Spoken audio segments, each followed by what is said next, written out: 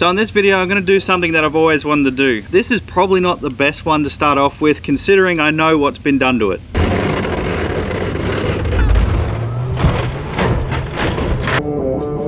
Alright, welcome back. Please start.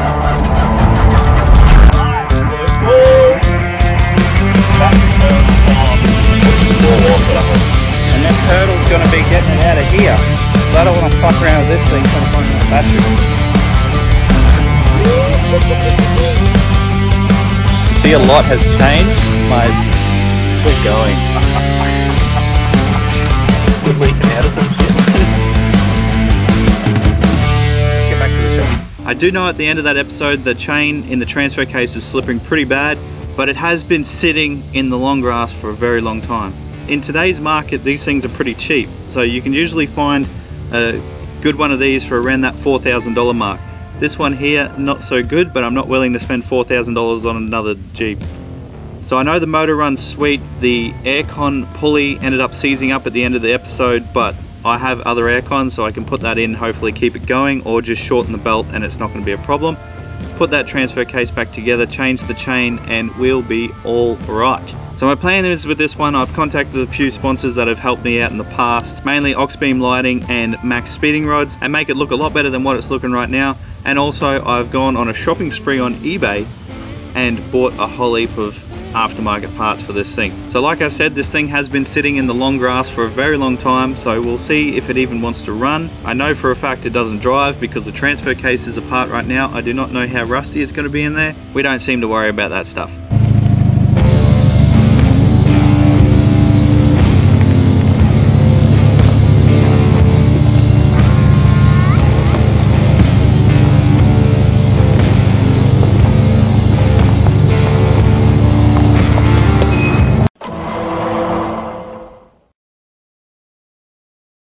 So we're back at it with one of my one of my most favorite types of Jeep. Since then I've got a new transfer case, so it's got a new transfer case in there now. Uh, I replaced the fan belt. If you remember that episode to the aircon pulley down there, that seized and then melted the fan belt. But since then, yeah, I've just been working on this thing, making it run again, making it move again under its own power. Foam, foam, foam everywhere. So yeah, these are the poly blocks that we're going to be installing in the front shock. So that'll just pretty much raise the coil about three inches. And then the rear, these are leaf in the rear. So we got these extended shackles just to lift it up a bit higher. And then, if you want to, you can lower the you can lower the gearbox, which is what these are for. So these are pretty much replace. These things here will do the exact same thing that this here is doing. It just lowers the cross member so that way your gearbox comes down and then that way your drive shaft levels out. So I'm probably not going to be using them. I might throw them in because they look cooler than the piece of box section that's in there. Now considering what we're doing, this is going to help nothing whatsoever. The only thing this will do is look for underneath the car. So these are from MaXpeedingRods as well. They're pretty much just an adjustable front arm. So that way if you want to adjust the drive shaft angles or how your diff sits or lengthen it so it sits properly, this is what you'd buy. So MaXpeedingRods as well. Got four of them, uppers and lowers, and that should be good. Another thing I've got, but since it started working, is the fuel pump. So I bought a new fuel pump go into the brand new fuel pump, that'll keep that pressure up there, but for some reason it started working now, which is good, but painful because I spent $150 on a fuel pump. That's alright. At least we got a spare one now for all the other Jeeps. Next up is our order from Auxbeam Lighting. This should be a light bar. That'll go along the roof. I got some brackets for that, which will make it awesome. And this box here. So these are replacement headlights. You can see those ones are pretty munted. These ones will just go in there. Perfect. It's gonna be gorgeous. Oh yeah. And then comes to my order from eBay and I have purchased some mad flares.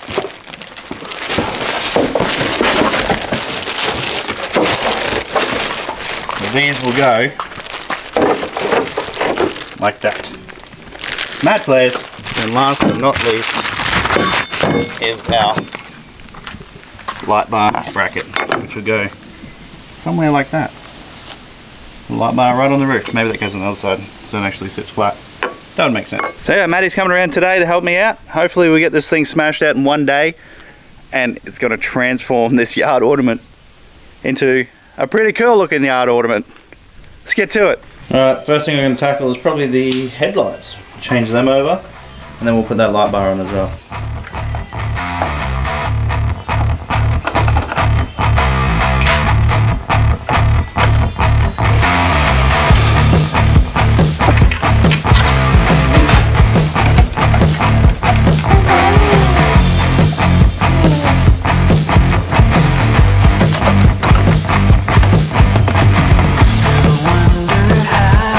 Difference that made.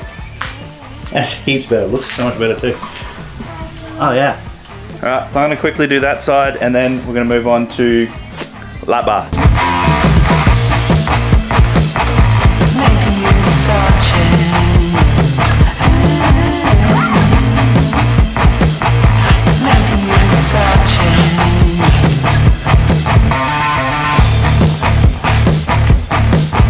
That's on. I don't like how that bracket's exposed, but there is a bolt in the back, which ain't a bad thing. I did have to do some massaging to get that to bend around because it did say this is for a curved and it was pretty much the only one I could find, but seems to work. So it bolts in there, comes around, but it just pokes out that little bit. It's probably not the best looking one, but I cranked the hell out of these bolts and they didn't strip out, so that tells you something. Maybe it's meant to be mounted like that, but who knows? Maybe I just have to. I just have to look for a curved bar to replace that with. But these brackets are like 30 bucks, so I wasn't that worried about massaging them and straight light bar. Doesn't look too bad. Probably would look better if it was a curved, but I'm not worried. Looks good to me. Ah, Maddie's here. Hey, Matt. You're not wearing the shirt I gave you. No, Unbelievable. I've been wearing it all week. It's in the wash. Hope you washed it. It's in the wash. Alright, so we jack the car up, take the sway bar out so that way we get a bit of flex. And then we're gonna, I thought while we're here we may as well put those spacers in. Then we can change these arms while it's easy to get to. Have the jack and a jack stand saving my life. Hopefully that's all I need. Should be easy enough. I'm hoping this shock is actually long enough. That shock's trashed. It broken. That's right, we don't need shocks. It's just a pretty yard ornament, eh mate? Yep. Looks good though. Good. I think Maddie's falling in love with it. I like the body shape. You're falling in love with it, aren't you, Matt? Mm, a little bit. You wait until we're done after today. Mm. Alright, we'll get to it.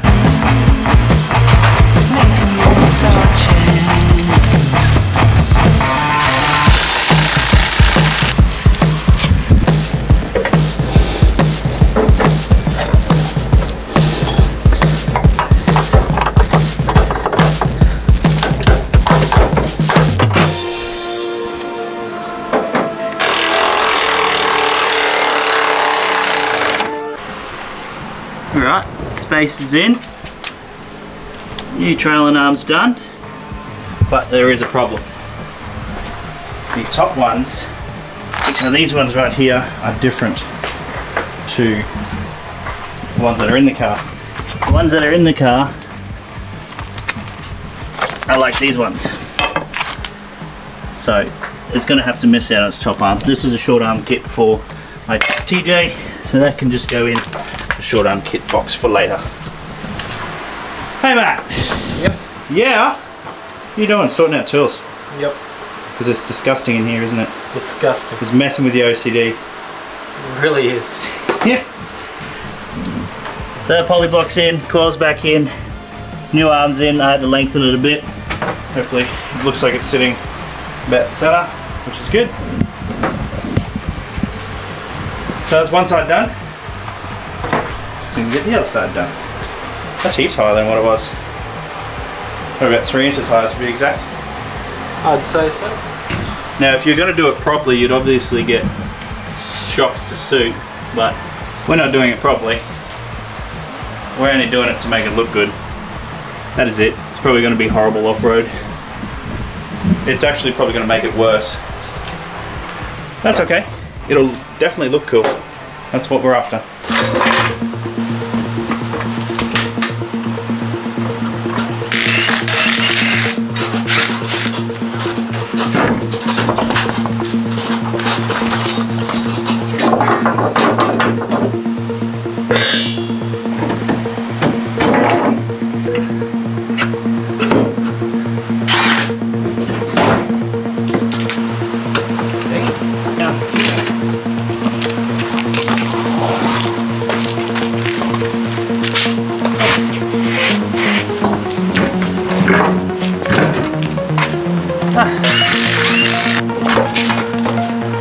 So Maddie, don't forget to tighten up that nut. Yeah, Down there. That nut up. They look good. It looks like it does something. Well, what do you reckon? We put some flares on. Righto, let's make it happen. Let's put some flares on? Yep. Oh yeah. So I'm just uh, unbolting this flare off here so we can bang it on these new ones. Personally, I like the white ones a little bit better. But we'll see how we go. Spent 300 bucks on new ones, we've got to use them. I don't recommend buying these ones, but we do it so you don't have to.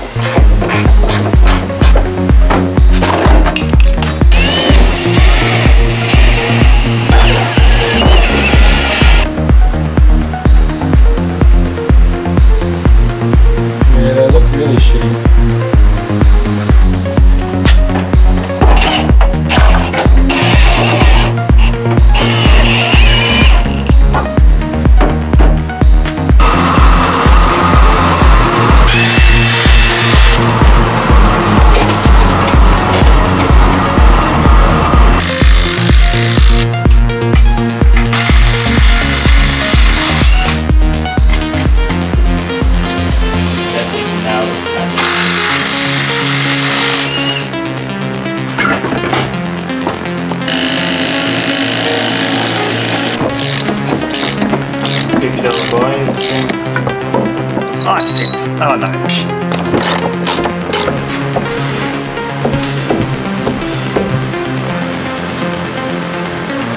Yeah. I think so.